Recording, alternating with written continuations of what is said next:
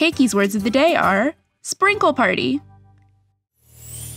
Hi, Cakey here. There's nothing I love more than a sprinkle party. Cupcakes, baking, couple dozen treats in the making. Gonna gobble them up when the timer